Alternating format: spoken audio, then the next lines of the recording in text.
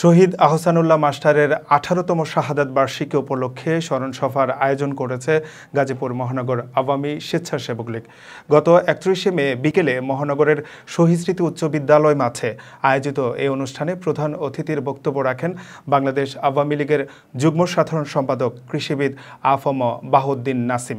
সভাপতি সঞ্জিত কুমার মল্লিক বাবুর সভাপতিতে স্মরণ সভায় বিশেষ অতিথি হিসেবে বক্তব্য রাখেন যুব ও ক্রীড়া প্রতিমন্ত্রী জাহিদ আহসান রাসেল, এমপি, বাংলাদেশ আওয়ামী স্বেচ্ছাসেবক লীগের সভাপতি নির্মল চন্দ্র গুহ, সাধারণ সম্পাদক A K M Afzalur Rahman Babu. অনুষ্ঠানে মহানগর আওয়ামী স্বেচ্ছাসেবক লীগের বিভিন্ন ইউনিট থেকে হাজার হাজার নেতাকর্মী অংশ নেন।